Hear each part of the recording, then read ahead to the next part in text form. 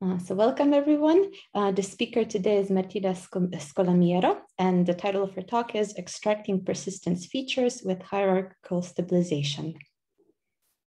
Thank you very much, Sarah, for the introduction uh, and um, to the organizers for having me at this talk. It's a great pleasure to be here. So today I will be talking about uh, hierarchical stabilization and the type of invariants we get through this. And this is um, ongoing work, which actually started some years ago uh, with the TDA group at, at KTH. So let's get started. Uh, here is, is the plan of my talk.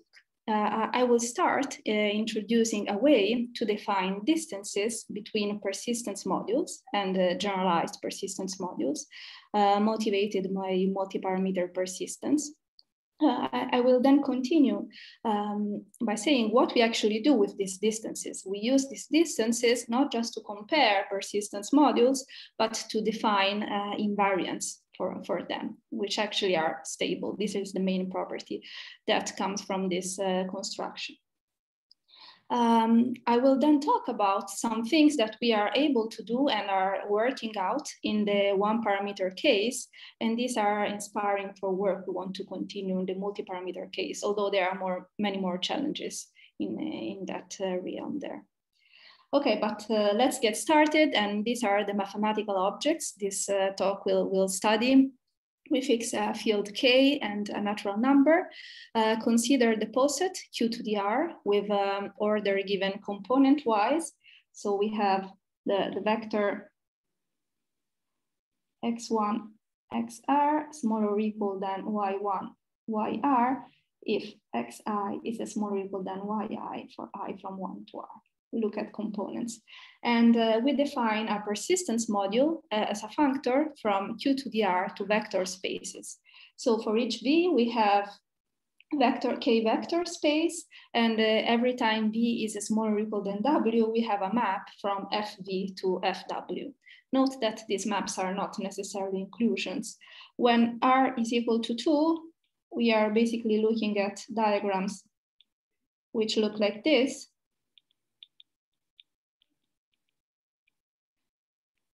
And for each vertex here in this grid, I usually play with, I have a vector space. For each map, I have, uh, for each arrow, I have a linear map and these squares, sorry, these squares here are commutative because we are looking at functors. So if I go this way and then this way, it's the same as going up and then to the right. Okay, so these are uh, the persistence modules, the algebraic objects we will study. And um, it's also uh, important to uh, restrict to a class of persistence modules. The, the one we will consider are so-called tame persistence modules. Everybody has uh, their favorite definition of tameness. This is the one we had, uh, we had chosen at the time.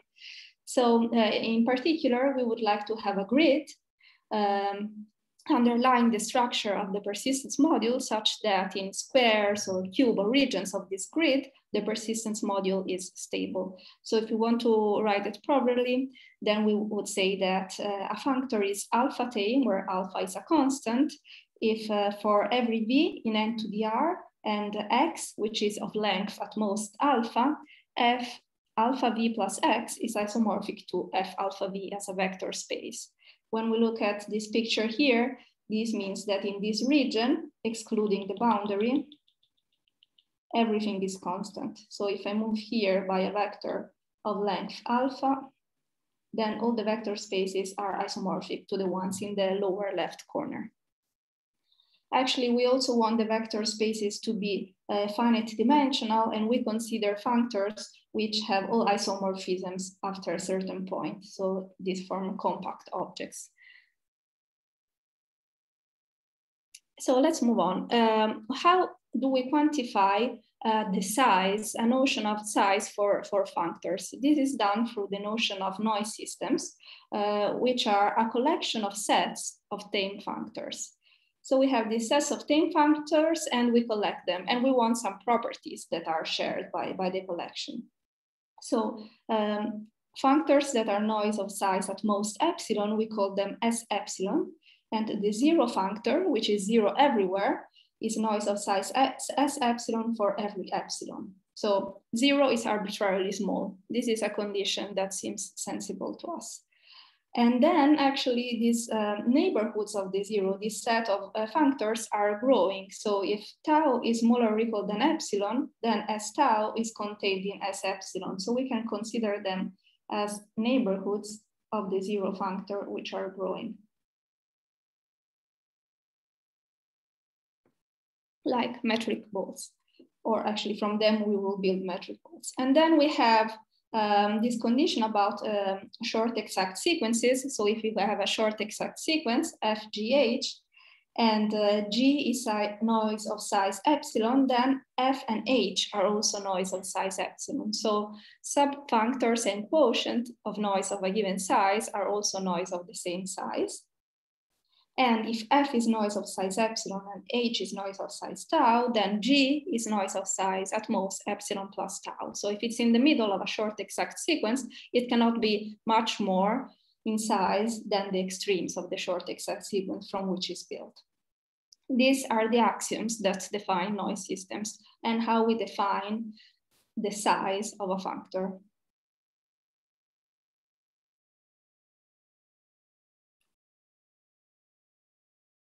Became a bit big.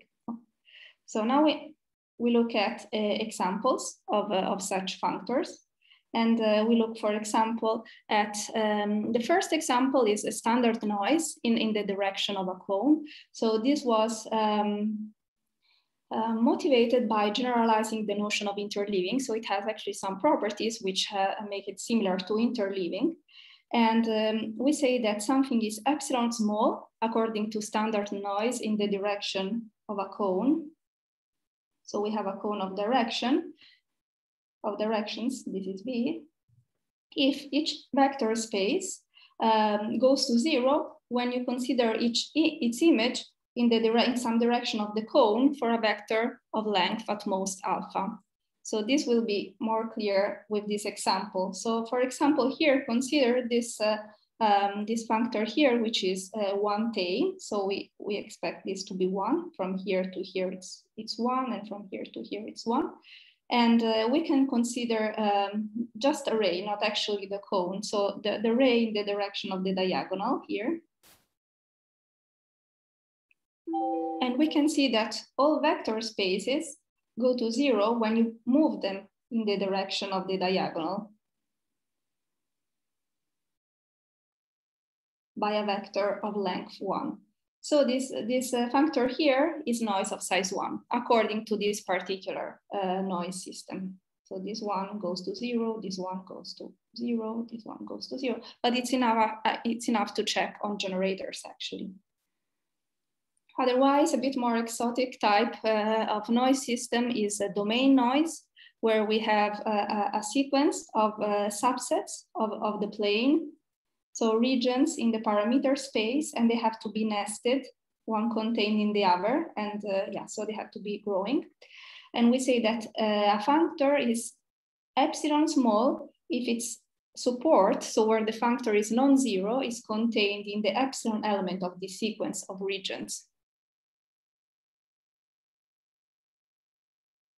And then we can consider another type of uh, exotic type of uh, noise system. And this is dimension noise, where we have a bound on the dimension of the vector spaces in, in the functor we are considering. So we have a, a list of natural numbers and epsilon, and um, with the condition that n tau plus n epsilon is smaller or equal than n tau plus epsilon for each tau and epsilon in Q. And we say that something is epsilon small if all the vector spaces are of dimension at most n epsilon. So here we have a bound on the dimension of the vector spaces instead. These are all definitions that work in, in the multi-parameter case. We didn't use a decomposition, but uh, if we consider um, now persistence modules without a decomposition, so for example, one, one parameter case, um, one can uh, see this notion of a p-norm that was introduced by uh, Kate Turner and Primoz Skraba uh, in, in their paper about uh, stability for Wasserstein distances. And the p-norm of a persistence module with this barcode decomposition is defined as the sum of the p power of the length of the bars in the barcode decomposition to the one over p, if p is different from infinity, or otherwise the maximum length of the bar, 1p is equal infinity. So we have p norms, and uh, it's actually proved uh, in, in their paper that uh, p norms form a noise system. So the axioms of noise systems are verified by these p norms. So one can consider also noise which resembles um, this notion of, of p-noise. Now, uh, noise systems can have various properties. So we have these various examples of noise systems. Um, they are not really families up to now, it's more like sporadic examples, but we can consider uh, the, some of their properties. Uh, we say that one of the properties we like is being closed under direct sums. A noise system is closed under direct sum if for every x and y, which are noise of size at most epsilon, then their direct sum is also noise of size at most epsilon. And actually we can see that um, standard noise and domain noise are closed under direct sum. This is quite intuitive because uh, if we sum two domains which are zero in some part, then also the sum will be zero in that part. And also with standard noise, we ask a condition on all the elements. So all the generators have to be zero when you push them in the directions of the cone. And uh, instead, our, our types of noise systems are, are not closed under the direct sums. And uh, these are, for example, the p-norm noise systems and the dimension noise. So this is a property that is useful, but it's not shared by all noise systems. What we had in mind when we had uh, defined this notion of noise system was to use them to understand how close two objects are, two persistence modules are. In practice, we want to define metric neighborhoods with respect to a pseudometric on the space of persistence modules. And this is actually what, what we can see with this definition here. So we have a noise system uh, as epsilon, and this induces a pseudometric on the space of 10 persistence modules. Uh, consider F and G uh, persistence modules. Um, we say that they are epsilon close if there exists a third object, H, and maps to F and G, such that the kernel and co-kernels of these maps are noise of size epsilon 1, epsilon 2, epsilon 3, epsilon 4. And when you sum up all of these contributions, you get up to epsilon. So you want to approximate F with H and G with H. And when you do this approximation, the sum of the errors is not more than epsilon. One of the reasons why we had in mind this idea of having this uh, triangle, this span, this H, is because uh, most times it's not possible to find a map from F to G or from G to H, which is non-trivial. So it's more useful to have uh, an interpolating object in, in the middle. And we can use um, this notion of epsilon closeness to define the distance. So the distance between f and g is the smallest epsilon such that f and g are epsilon close. Similarly, one can do, um, we've been looking at this recently, uh, one can do a slight variation of, of this definition and sum up the contributions, not with the L1 norm, uh, but with the P norm uh, on R4. Uh, so we have um, p power of the epsilons and then p root of this. And uh, when you use the noise system uh, associated to the uh, Wasserstein p norm, here we get the p Wasserstein distance as it was defined by Turner and uh, Skraba. there's a question for me maybe, or? That's right. Um, yeah, so Jasha asks, is there a reason the arrows go from H to F and G, or would it work equally well if the arrows went from um, G and F to H? Yes, so it's it's the same. Uh, you you can do both. Um, if you have an interpolating object sending to FNG, you also have an interpolating object um, from FNG. You can take the push out. So it's it's equivalent. One can define in both ways. You're welcome. Okay. Okay, so um, we can uh, actually in the one parameter case uh, recover the p Wasserstein distance. uh, in the algebraic version as defined by Turner and Skraba, and its ongoing work with Guidolin and Agerberg to, to understand this type of distances and what is their impact on what I'm going to tell you now. So um, once we have a distance, this could be distances induced by noise systems or any other distance you like on uh, persistence modules. Uh, we can uh, do this um, trick of hierarchical stabilization. The hierarchical stabilization means um, to take an invariant, a numerical invariant of your persistence module and minimize it in metric, metric neighborhoods of your functor. So you have your persistence module F or your functor, and then you consider, and then you consider metric neighborhoods with respect to a distance d. You have also agreed on an invariant that you want to minimize. Uh, then I will specify the type of invariant we've been minimizing, but it, it's easier if it is a numerical invariant of your persistence module. And um, by minimizing this invariant in uh, metric neighborhoods, uh, you, you obtain a function which is piecewise constant and not increasing because these neighborhoods are growing. So you have bigger and bigger neighborhoods and you uh, minimizing bigger and bigger balls, metric balls. This is the formal definition. We obtain piecewise constant function, which in zero is actually the value of your invariant on F, and for T is the infimum of your invariant in the metric ball of radius T, centered in F.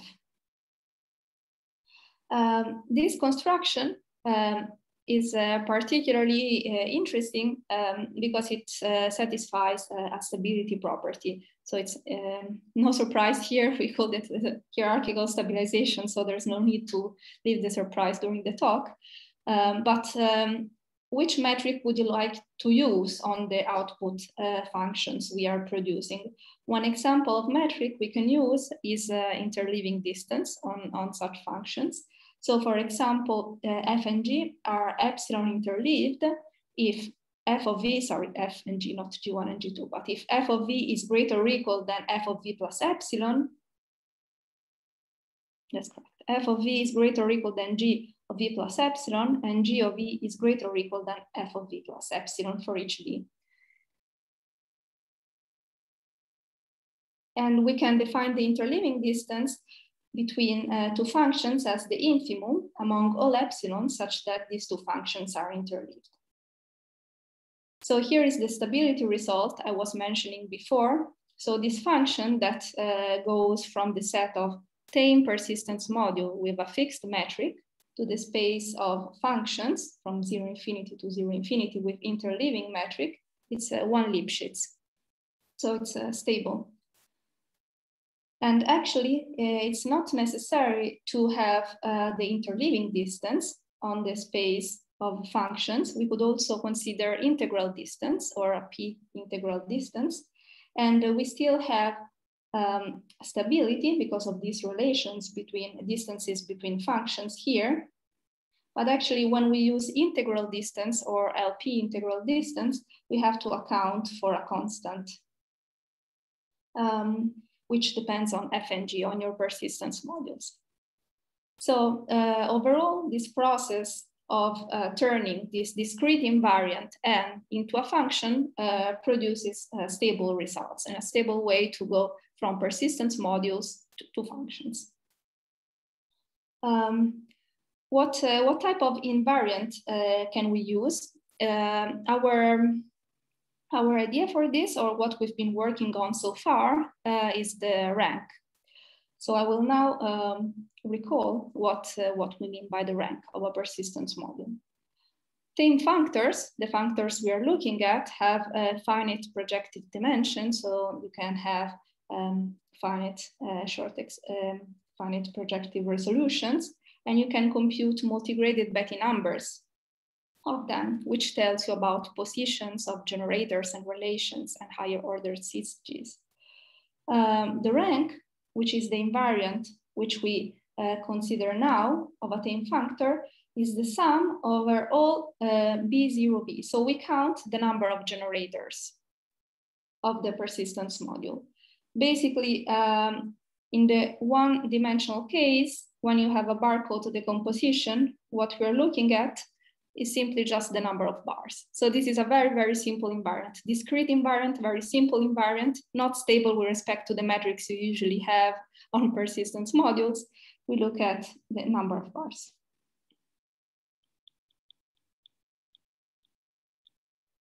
But then we can stabilize it and compute a function out of it with this process of hierarchical stabilization.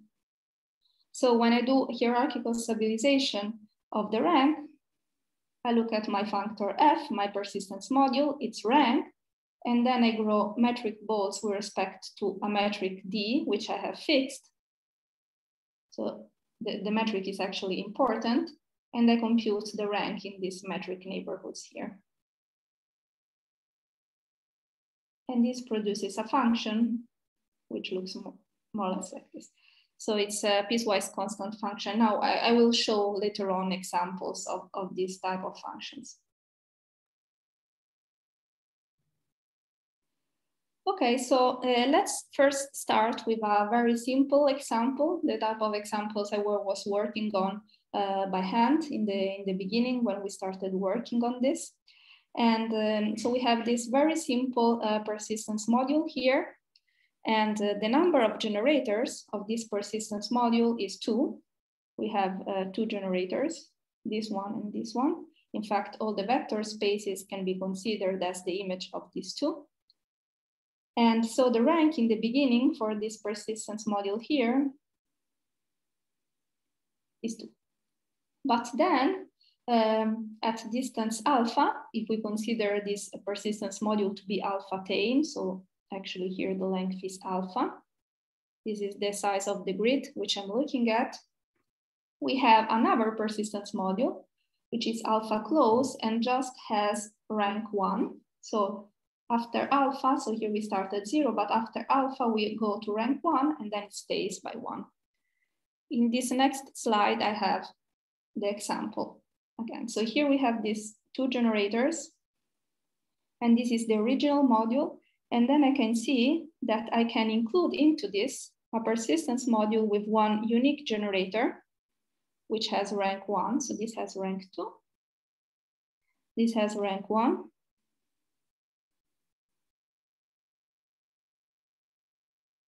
Because it has one unique generator, it is a free functor. And how close are they? Where, where is this uh, second functor here with respect to the first one? Well, in a metric neighborhood of size alpha because if I look at their quotient, this is noise of size alpha. So if I call this A, B, and the quotient C, I want to do hierarchical stabilization of B. And when I look at this metric neighborhood, when I go to radius of size alpha, I find A somewhere here in the metric neighborhood, and this has rank one. Then actually I cannot go lower than, than one because this is not noise of size, anything. Free functors have constant rank. You cannot lower that stable. So this is the stable rank for this very simple example, which one can work by hand. Actually, eh, it's worth noting that in this metric neighborhood, there doesn't exist a, a, unique functor which minimizes the rank. There can be infinitely many. These metric neighborhoods are very, very complicated. It, it's actually very complicated to algorithmically compute this uh, hierarchical stabilization just because these metric neighborhoods are very mysterious objects and they depend on the metric too, of course. So uh, let's move uh, to a couple of words uh, regarding computations. Uh, before I have mentioned um, this uh, notion of um, noise in the, in the in standard noise in the direction of array, which is equivalent to the interleaving distance uh, by Lesnick. And we can have a generalization of such standard noise by so-called simple noise systems. Now, I, I, will not recall which are the axioms of simple noise systems, but uh, for, for this type of uh, noise systems, which have some properties in common to standard noise or interleaving, as you prefer, uh, one can prove, and this was work by Oliver Gäfvert and Wojtek Chachólski, that the minimal rank can be obtained by subfunctors. We had already observed this for standard noise. So one can restrict to a class of functors, which are actually the sub-objects, and just looking to them to find the minimum. This is uh, a strategy for computation to restrict to subclasses of functors. Uh, Oliver proved in his master thesis that uh, for a stable rank, also when one uses standard noise, actually, if we consider a finite phi, finite phi field, uh, then there are infinitely many computations, but uh, uh, the, the algorithm to do this is NP hard. So the problem is NP hard. This is a very uh, rich invariant, so it's, it's complicated to compute it. But um, uh, one, one, uh, one thing to, to notice is that uh, while trying to compute this stable rank in a multi-parameter um, persistence, uh, they have introduced this notion of contours, uh, which are a way to handle simple noise systems. Contours are the same as simple noise systems. And they are a way to handle them for um, computations, on algorithmic computations, but also uh, a way to generate new simple noise systems. So I, I will now go to the one-dimensional case and uh, show some insights that we have uh, by using contours. Um, some of this material was already um, looked into by Henry Riihimäki and Wojtek Chachólski, which have considered uh, contours in one-dimensional persistence. So uh, what, what is a contour? A contour is a function from zero infinity times zero infinity to zero infinity. So from the monoid zero infinity times the poset zero infinity to zero infinity, uh, which um, satisfies some properties. So C A zero is A. If I act by zero, I'm still there. Then C of C A epsilon tau is equal to C A epsilon plus tau. So we have this additivity condition in, in the second variable.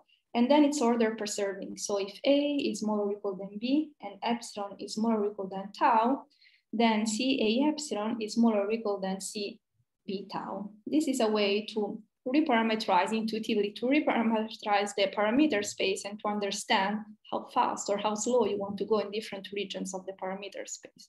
This intuition will be clearer later on when I show some examples. And uh, with contours, it's actually easy uh, to produce many types of metrics. So in, in, this sense, I just had a bunch of examples before uh, I could enumerate on, on my hand. And now with contours, we have huge families of distances between persistence modules that can be built. As for example, this one, which start from densities. So consider a, a measurable function f from zero to uh, zero infinity to zero infinity and define a contour in this way uh, to a epsilon, we associate df a epsilon, that is how much I have to go um, to obtain an integral under the curve, which is epsilon. So it's the value such that from a to that value, if I integrate my function, I obtain epsilon.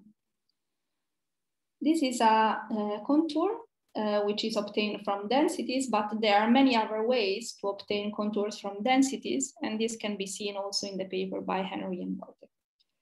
So now uh, we have um, a large number of uh, functions uh, which produce a, a, large number of invariants, and um, the problem comes uh, to understand how to evaluate these invariants. So uh, we start from the assumptions that we need many distances to compute to compare persistence module that for one experiment uh, and a different experiment, not necessarily the same distance is the correct one. One should look into different distances for different data analysis problems. But now that we have many, how to evaluate which uh, distance is the best for a given data analysis problem or classification problem.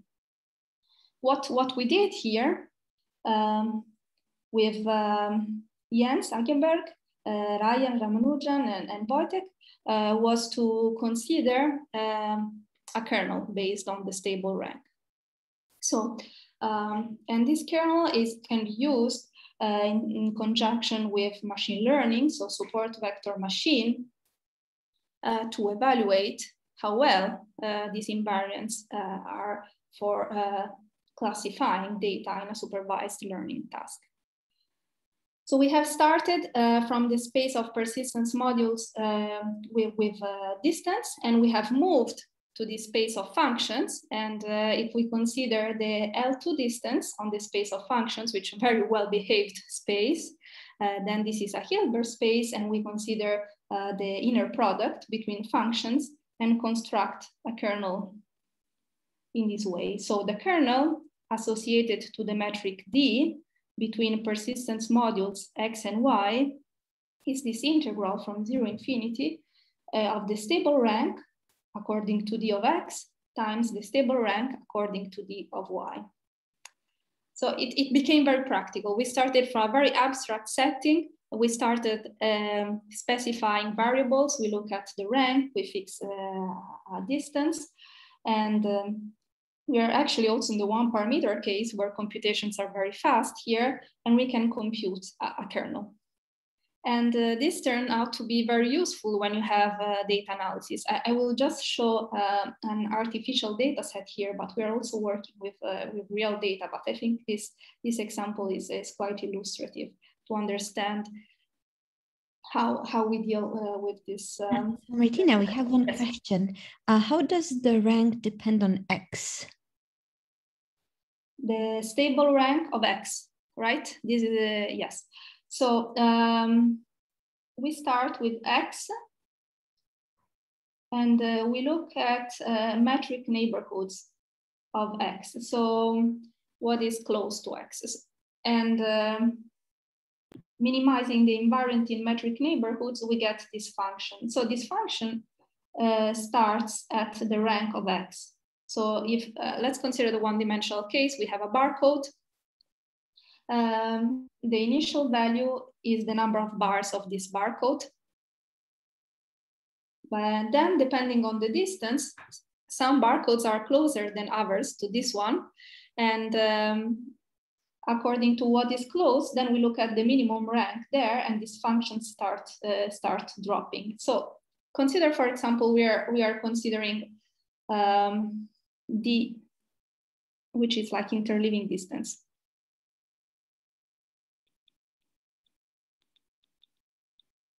And my X is a, is a barcode where all the bars are of length epsilon, but they are all over the place.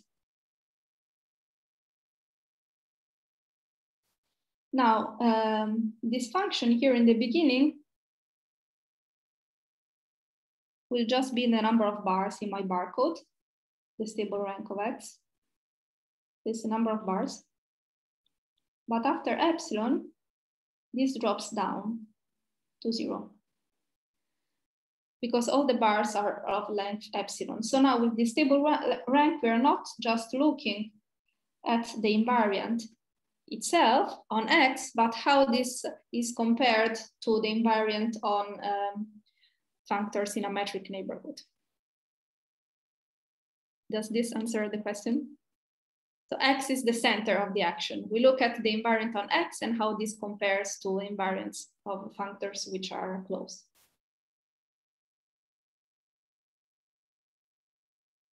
Shall I, shall I continue? And uh, yes, please do. I think uh, uh, I didn't see any further messages. Yeah, okay. I got it. Okay, confirmation. Yes, okay.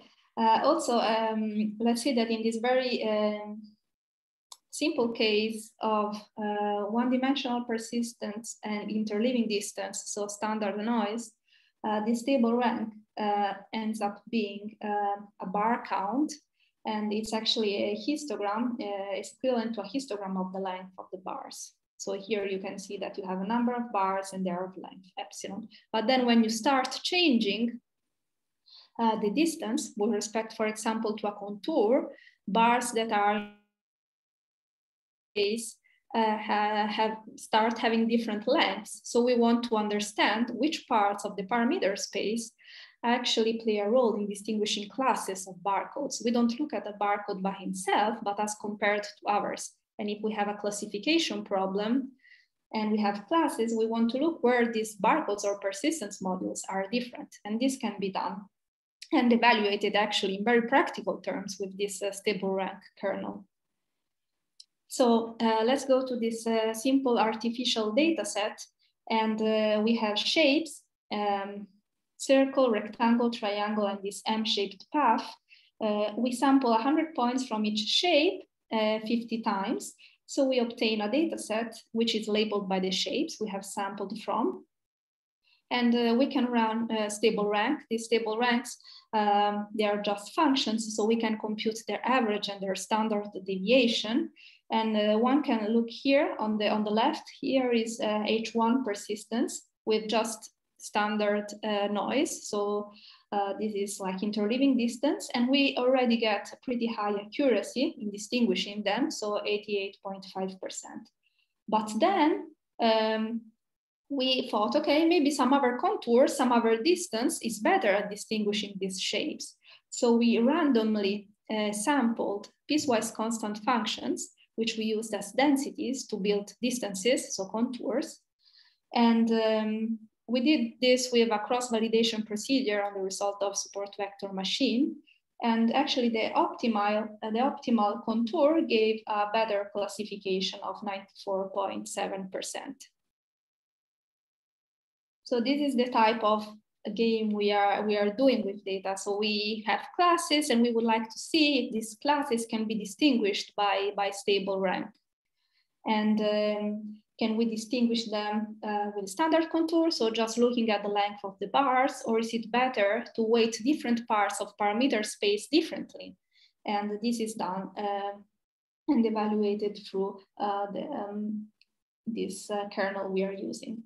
Uh, one intuition that we can have, but this is not an algorithm, it's just an intuition, is that we can look at uh, Betti curves. So the Betti curve uh, just counts at each step of the parameter space how many bars you have in a barcode. So it's just a bar count here for each step of the parameter space. Not stable invariant, but here are the Betti curves. And we can see that they are actually different here in this part of the parameter space. And if we focus the attention here with our contour, this is actually better at distinguishing classes.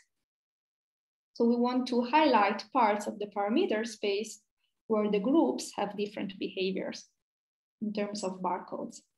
But now, interestingly enough, um, these invariants can also be used to understand data with ambient noise. So here we added 30% of ambient noise, so uniform distribution from the square. And we, we all know that persistence is not stable, is not robust with respect to ambient noise. But uh, as an observation, we found it very useful to subsample the data and average. So if we, for example, subsample 20% of the uh, of the points 50 times and an average, we find a way, again a distinction between the classes which had disappeared here on the left with the noisy data, with ambient noise. So this subsampling procedure and averaging, which is possible because we have these very simple functions, we construct these very simple functions as invariants, um, seem to be very robust to ambient noise. Uh, in particular, if you look at um, accuracy of classification with support vector machine with our, uh, uh, with our kernel, here the accuracy in blue is without subsampling and the accuracy on the um, yellow curve is with subsampling. And we can see already that, for example, like with 50% of ambient noise, we have a very good accuracy like 75% accuracy. And this is not the case if you don't consider the, the subsampling uh, strategy. So this is uh, quite interesting and uh, intriguing for us. Last slide. So uh, in summary, um, I would like to um, say that um, with this hierarchical stabilization, we can produce invariants which are uh, stable and they can also be used for multi-parameter persistence and um, one property we like of these invariants is that um, we can actually do machine learning with them. and uh, statistics because it's very simple uh, space of, of invariants we are, we are dealing with. And also one property which is um, interesting is that we obtain very many invariants. So according to the distance d you use for hierarchical stabilization, you get very many different invariants. So it's interesting to understand and compare them according to different types of uh, noise systems or, or distances. Thank you for your attention. Thank you. So I would like to invite everyone to unmute themselves and thank the speaker again. Um, now it's time for questions.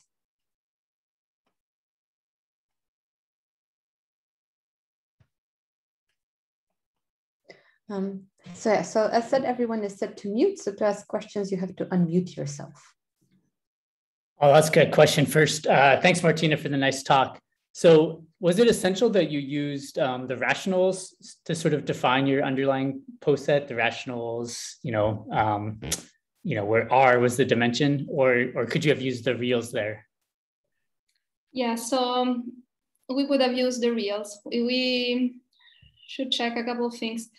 So in principle, I would say we can use the reals. The, the reason uh, why we use the rational there is that um, when we compare um, modules with different um, size, so um, tameness, alpha tame for different alphas, when you want to compare two, then you want to find a grid which is okay for both. And um, if you do this for many, many, very many times, then you don't want to go into trouble. But uh, I would say that the Q is, is not essential there. We, we can do with R. But that makes sense. Uh, tameness in the sense of the finite dimensional vector space, I think that we like. And uh, also like uh, isomorphisms um, from some point on in order to have a compact um, set of objects. Right, right. Yeah, that makes sense why you're using the rationals to compare on common grids. And then I agree with your intuition. You can probably take some sort of limit, you know, if needed to move to there. Thanks.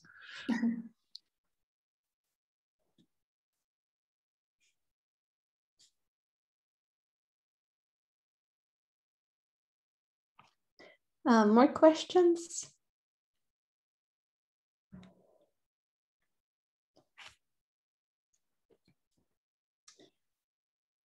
Um, so in case people are shy, maybe then uh, thanks Martina again. I will stop the recording and we can have the rest of the questions uh, offline.